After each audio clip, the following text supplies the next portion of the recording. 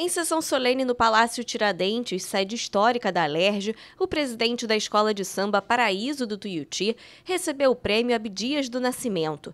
Renato Marins, o Thor, foi homenageado por sua atuação na luta contra o racismo e no fortalecimento de oportunidades de emprego e acesso à cultura.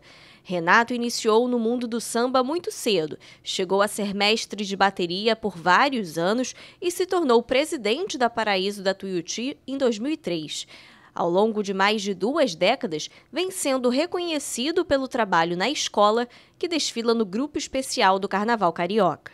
Para mim está sendo de uma grande importância, né? Receber essa honraria, né?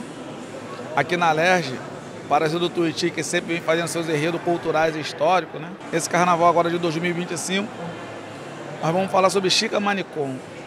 Chica Manicongo é a primeira mulher trans negra do Brasil. Mais um enredo cultural histórico, o currículo do Paraíso do Tuiuti.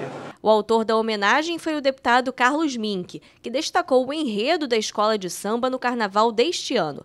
A Paraíso do Tuiuti contou a história do marinheiro brasileiro João Cândido Felisberto, líder da revolta da Chibata em 1910. A escola de samba Paraíso do Tuiuti, esse ano, homenageou João Cândido, o almirante negro, o homem que liderou a revolta da Chibata.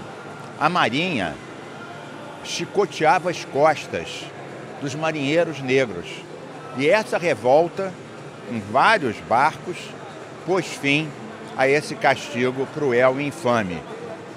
O, João Cândido foi homenageado por um samba inesquecível é, do Aldir Blanc e do João Bosco.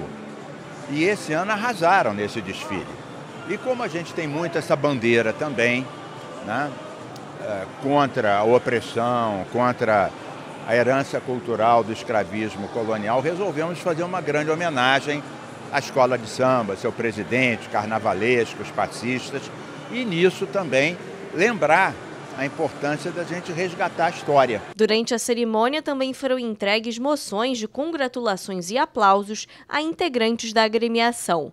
Foram oito homenageados pelo trabalho realizado dentro do paraíso da Tuiuti.